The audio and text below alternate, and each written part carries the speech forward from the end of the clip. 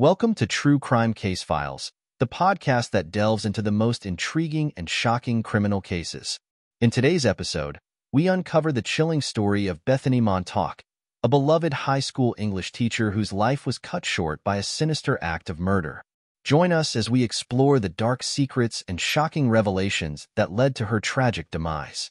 Bethany Montauk, age 36, was a dedicated and passionate high school English teacher residing in Wilmington, Delaware. Known for her kindness and creativity in the classroom, Bethany was admired by both her students and colleagues. Her unwavering commitment to helping others made her a beloved figure in the community. Despite facing personal challenges in her marriage, Bethany maintained a positive outlook and strived to make a difference in the lives of those around her. She dedicated her days to shaping young minds, always going the extra mile to ensure her students received the best education possible. Outside of the classroom, Bethany's love for wine led her to explore the local vineyards in Delaware. She would spend her weekends visiting wineries, immersing herself in the rich history and culture of the region's wine production. She became well-versed in the different grape varieties, fermentation processes, and the art of pairing wine with food. She had an impressive knowledge of various wine brands and was something of a wine connoisseur. Unfortunately, as many teachers in America know, her passion for teaching was not enough to pay the bills, and so she worked as a sommelier at a local upscale restaurant in downtown Wilmington to make ends meet, showcasing her passion for wine and providing recommendations to patrons. April of 2002 was a time of excitement and anticipation for Bethany. She had been selected to attend a prestigious education conference in New York City, where she would have the opportunity to connect with other educators and learn from experts in her field. This conference was highly regarded in the education community, and Bethany saw it as a chance to enhance her teaching skills and bring fresh ideas back to her students. Little did Bethany know that she would never go to this conference, would never go anywhere again. A tragic turn of events that would forever change the lives of those who knew and loved her.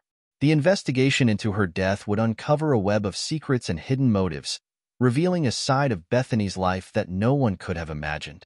On a fateful day in April 2002, the lifeless body of Bethany Montauk, a beloved high school English teacher, was discovered in her residence located in Wilmington, Delaware. The date, forever etched in the minds of those involved in the investigation, was April 10th.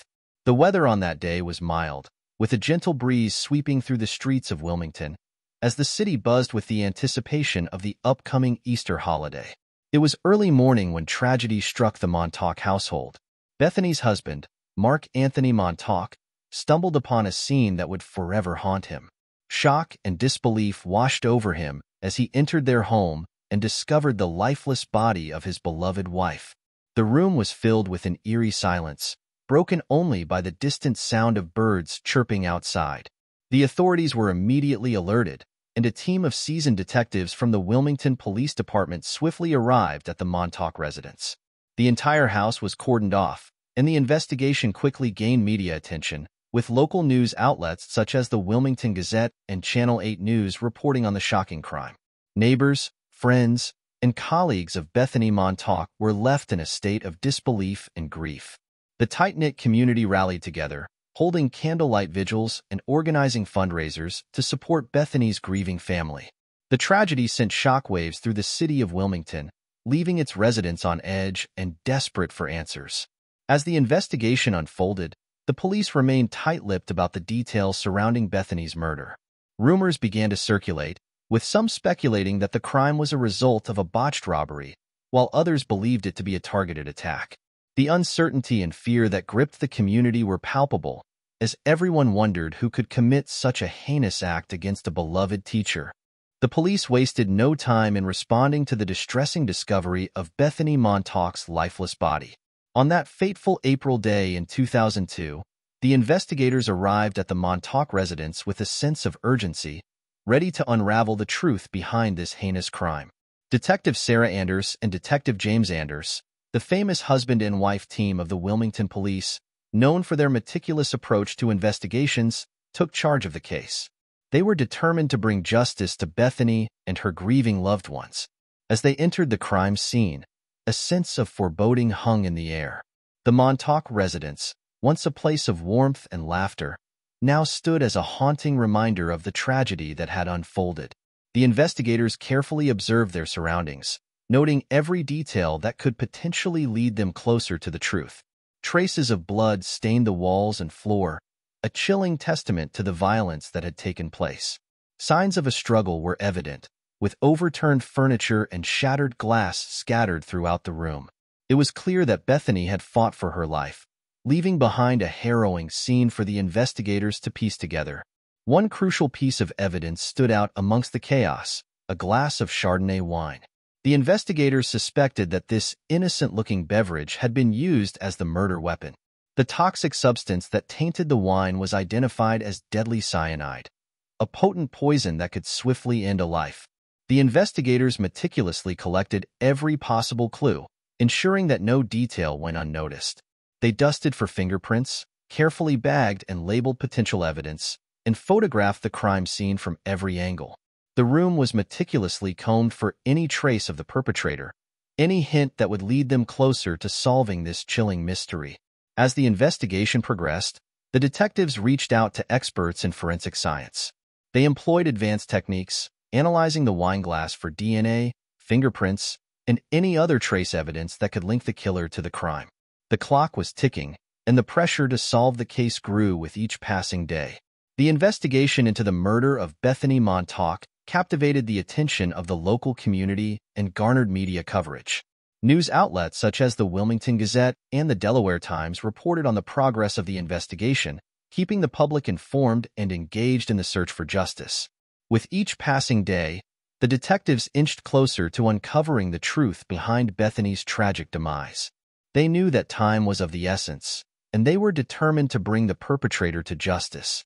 In the investigation of the shocking murder of beloved high school English teacher Bethany Montauk, the police turned their attention to her husband, Mark Anthony Montauk.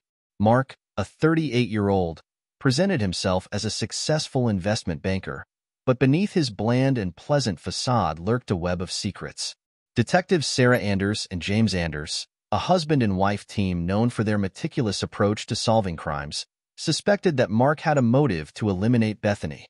It was discovered that Mark had a life insurance policy worth a staggering $300,000 on his wife, raising eyebrows and leading investigators to delve deeper into his financial motivations. During the intense interrogation, Mark's emotions fluctuated between anger and calmness as he vehemently denied any involvement in his wife's murder. The detectives skillfully probed his alibi, scrutinizing the events leading up to the fateful day of Bethany's death. To establish a timeline, the detectives meticulously gathered evidence from various sources. They interviewed neighbors, who reported hearing heated arguments between Mark and Bethany in the weeks leading up to the murder. The couple's financial records were examined, revealing a pattern of excessive spending and mounting debt. It was discovered that Bethany's teaching job, though highly regarded, did not provide sufficient income, leading her to work as a sommelier to make ends meet. As the investigation progressed, the detectives uncovered a disturbing connection between Mark and a local wine distributor. Records showed that Mark had been purchasing a particular brand of Chardonnay, the same brand found at the crime scene. This discovery raised suspicions that Mark may have tampered with the wine, lacing it with deadly cyanide. To bolster their case, the investigators sought the assistance of forensic experts. The toxicology report confirmed the presence of cyanide in Bethany's system, further strengthening the suspicion against Mark. The detectives also analyzed Mark's financial records, uncovering a series of questionable transactions that pointed to a desperate need for money. With the weight of evidence mounting against Mark, the investigators were determined to bring justice to Bethany and her grieving community. But as they delved deeper into the twisted web of secrets surrounding the Montauk marriage, they would soon discover that there was more to this case than met the eye. Laura Bascule-Groves, a 26-year-old sex education teacher at the same high school where Bethany Montauk worked, has emerged as the second suspect in the investigation. Laura, known for her outgoing personality and rapier wit, was a familiar face among the students and staff. However, beneath her friendly demeanor, a deep-seated hatred towards Bethany simmered, fueled by a secret affair with Bethany's husband, Mark Anthony Montauk. The police wasted no time in bringing Laura in for questioning. The interrogation room was tense, the air heavy with anticipation. Detective Sarah Anders, a seasoned investigator with a reputation for her relentless pursuit of the truth, sat across from Laura. Detective Anders skillfully probed Laura's involvement in the murder, carefully dissecting her every response. Laura's initial reaction to the accusations was one of anger. She vehemently denied any knowledge of Bethany's murder, her voice filled with outrage. I would never do something so heinous, she exclaimed, her eyes flashing with defiance. However, as the interrogation progressed, cracks began to appear in Laura's facade. With her back against the wall, Laura's denials grew weaker. She attempted to distance herself from the murder, claiming that her affair with Mark had ended months before Bethany's tragic demise. However, the detectives were not easily swayed by her words. They had uncovered a trove of sexually explicit text messages exchanged between Laura and Mark during the time leading up to the murder, revealing their continued sexual involvement. As the interrogation drew to a close, Laura's demeanor shifted from anger to desperation. Tears welled up in her eyes as she realized the gravity of her situation. I never meant for any of this to happen, she whispered, her voice filled with remorse. The detectives remained stoic, their focus unwavering. The investigation into Laura Bascule-Groves' involvement in Bethany Montauk's murder continued. The truth, like a jigsaw puzzle, slowly began to take shape. The question remained, would Laura's secrets be enough to unravel the mystery surrounding Bethany's tragic demise? In the perplexing case of Bethany Montauk's murder, the investigation took an unexpected turn when a seemingly unassuming neighbor, Daniel Logan, emerged as the third suspect. At the age of 72, Daniel was a widower known for his reserved nature and meticulous attention to detail. Living in the same suburban neighborhood as the Montauks, he had been quietly observing their lives, unbeknownst to them. The police, led by the determined husband and wife team of Detective Sarah Anders and Detective James Anders, brought Daniel in for questioning. The interrogation room was dimly lit, creating an atmosphere of suspense and intrigue. Daniel sat calmly, his demeanor betraying no signs of guilt or nervousness. As the detectives delved deeper into their line of questioning, Daniel revealed a shocking motive rooted in blackmail. It appeared that he had stumbled upon a dark secret of Mark Anthony Montauk, Bethany's husband. Mark, a seemingly successful investment banker, had been leading a double life, engaging in extramarital affairs behind Bethany's back. Daniel claimed that Mark had approached him, offering him sex in exchange for his silence. This revelation sent shockwaves through the investigation, as it hinted at a complex web of deceit and betrayal. The detectives meticulously probed Daniel for further details, seeking to uncover the truth behind this sordid affair. Despite the gravity of the situation, Daniel remained composed throughout the interrogation. His calmness added an air of mystery to his involvement in the case. The detectives, determined to uncover every piece of evidence, carefully cross-referenced Daniel's statements with other testimonies and physical evidence collected from the crime scene. As the investigation unfolded, the detectives discovered that Daniel had been keeping a detailed journal, meticulously documenting every interaction he had witnessed between Mark and Laura Bascule-Groves, the second suspect. This journal became a crucial piece of evidence, shedding light on the intricate dynamics between the three individuals. With each page turned, the detectives pieced together a timeline of events, connecting Mark's illicit affair with Laura to the murder of Bethany. The journal entries revealed clandestine meetings, secret phone calls, and coded messages exchanged between the two suspects. The investigation into Daniel's involvement in the case continued, as the detectives sought to determine the extent of his knowledge and potential role in the murder.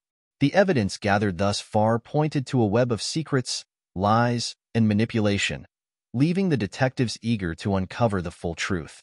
In a shocking turn of events, the truth behind the heinous murder of beloved high school English teacher Bethany Montauk had finally been revealed.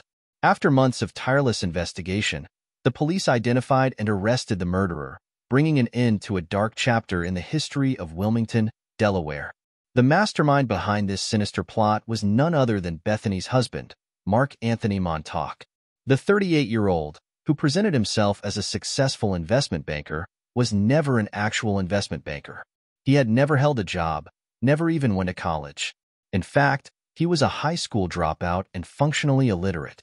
His web of lies and deceit began to unravel when the police discovered his dark secret. Driven by a toxic combination of greed, fear, and deception, Mark orchestrated a twisted and frantic plan to keep Bethany from learning the truth about his fraudulent life. In a desperate bid to silence her forever, he poisoned her with a glass of Chardonnay wine laced with deadly cyanide. This chilling act of betrayal sent shockwaves through the community, leaving friends, family, and colleagues in disbelief. But Mark was not acting alone. Another key player in this tragic tale was Laura Bascule-Groves, a 26-year-old sex education teacher at the same high school where Bethany worked. Laura, driven by a deep-seated hatred and a secret affair with Mark, manipulated him into carrying out the murder. In her quest to eliminate her romantic rival and claim Mark for herself, she used his dark secrets as leverage. The police, led by the dedicated husband and wife team of Detective Sarah Anders and Detective James Anders, painstakingly pieced together the puzzle that led to the arrest of both Mark and Laura. With unwavering determination, they meticulously collected evidence, interviewed witnesses, and analyzed forensic data. The arrest of Mark Montauk left the community stunned. The facade of a successful investment banker crumbled, revealing a man consumed by fear and deceit. The arrest of Laura Bascule-Groves added another layer of shock, as her friendly demeanor masked a sinister and calculating mind. As news of the arrest spread, the community of Wilmington breathed a collective sigh of relief. The dark cloud of uncertainty that had hung over them for months was finally dissipating. The memory of Bethany Montauk, a dedicated and beloved teacher, will forever be etched in their hearts. The trial that followed the arrest of Mark Montauk gripped the community of Wilmington, Delaware in April of 2004. District Attorney Emil Borko, a seasoned prosecutor known for his tenacity, presented a compelling case against the accused. The courtroom was filled with tension as the prosecution meticulously laid out the evidence, painting a vivid picture of the heinous crime that had taken place. The defense attorney, Mark J. Castlebreath, fought vigorously to cast doubt on the evidence presented by the prosecution. Castlebreath, known for his sharp legal mind, argued that there were inconsistencies in the timeline of events and questioned the credibility of some of the witnesses. He attempted to create reasonable doubt in the minds of the jurors, urging them to consider alternative theories. The trial lasted for several days, with both the prosecution and defense presenting their arguments and calling witnesses to the stand. The jury, composed of 12 individuals from various walks of life, carefully listened to the testimonies and examined the evidence. They deliberated for hours, weighing the facts and the arguments presented before reaching their verdict. Finally, the moment arrived. The tension in the courtroom was palpable as the jury foreperson stood up to deliver the verdict. We, the jury, find the defendant, Mark Anthony Montauk, guilty of the murder of Bethany Montauk, the foreperson announced, her voice steady and resolute. Gasps of disbelief echoed through the courtroom as the reality of the verdict sank in. The sentencing phase of the trial commenced shortly after the guilty verdict was announced. The prosecution argued for a harsh punishment, citing the brutal nature of the crime and the devastating impact it had on the victim's family and the community. The defense, on the other hand, pleaded for leniency, highlighting Mark's lack of a criminal record and his potential for rehabilitation. After careful consideration, the judge handed down the sentence. Mark Montauk would serve a term of five years in prison. The courtroom erupted in a mix of emotions, with some expressing relief and others feeling that the sentence was too lenient given the gravity of the crime. As the trial came to a close, the impact of the verdict rippled through the lives of Bethany's friends and family, forever altering their perception of the justice system.